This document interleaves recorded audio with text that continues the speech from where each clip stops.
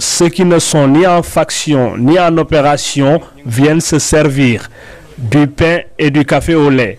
Loin des conforts, des salles à manger de leur domicile, ils savourent leur repas.